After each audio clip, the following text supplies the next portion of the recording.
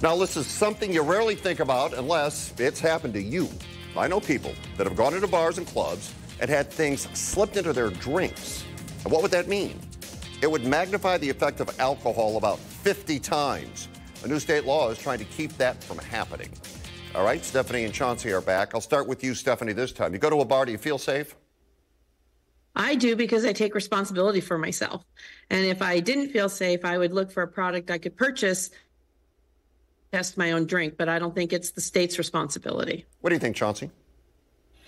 Um, I think it's a great incentive to for bars to have.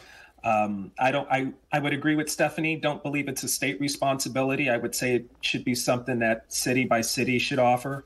Um, like Palm Springs, for example, is a high tourist community. It may make the tourists feel a little bit safer if this was something provided to them when they would go into a bar. See, here's the thing that, that interests me here. So the law says that bars must have these tests on hand if you request them.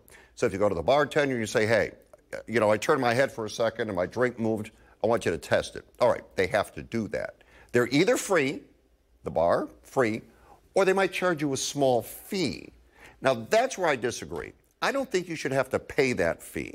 I think if this is going to be the law and it's going to be in the bar and it's for your safety and you offer up, I'd like it tested, I think they should cover that, the state or the bar. Chauncey, I don't think you have to pay for that. Well, I think you should. Um, I think there's a certain level of responsibility. Yes, I get it. You may walk away to the bathroom. Hopefully, you're there with a friend. Your friend could watch your drink.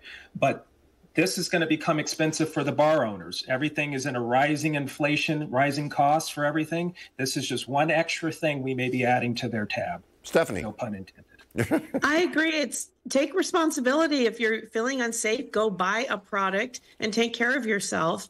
I don't want the government to take care of me every, every where I turn. And I did some research, and it's only seven to ten percent of the population, but it's a huge expense to our taxes, and I don't want my taxes paying for that.